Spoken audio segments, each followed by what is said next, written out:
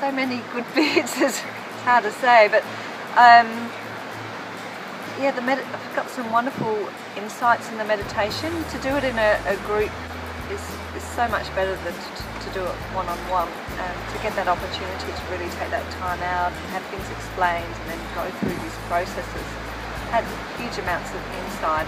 And then just having other people's perspective and, and issues or whatever, and that's being explained and sorted. Um, yeah, it just makes it easier to, to think if obstacles do come up in the future that I'll know how to handle them. I think because you, you are doing this kind of spiritual practice and um, you are open to, to being more sensitive to things. And yesterday I had a bit of a, some emotion come up as a result of a tarot reading, and, and I felt really confused last night. And, and then today I came back and um, we did this restorative yoga session, and it was so incredible. It was just deep relaxation, long um, periods of time in certain poses for an hour and a half, and that just um, brought me back to myself.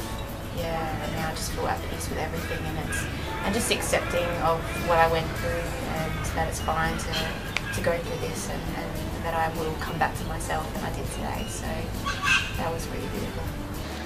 Um, personal issue of having a an anger response to, that, that uh, confused my thinking um, was able to be turned around instead of looking at it negatively, having a jolly good laugh at myself, uh, and and then sitting back quietly, looking at it, and asking myself a few little questions. I feel like I've had great success with my teachings. I hadn't done a great deal of meditation beforehand, so I was really surprised when um, when I was starting to get visions and, and even going back past lives to explore some negative emotions that had been coming up and I got a great deal of clarity.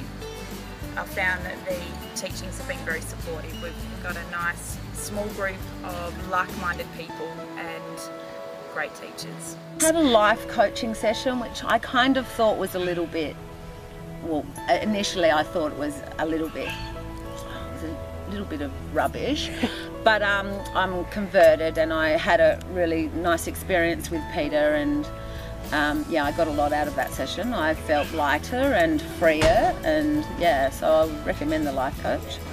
Um, us to do a walking meditation and just to look for something that, that might give us an insight. Um, I thought I knew what I was looking for, I thought I knew what I would see, but I saw exactly opposite to what I presumed I would find. Um, and it just gave me this incredible sense of peace, I felt my shoulders drop, and it was a massive, a massive moment for me.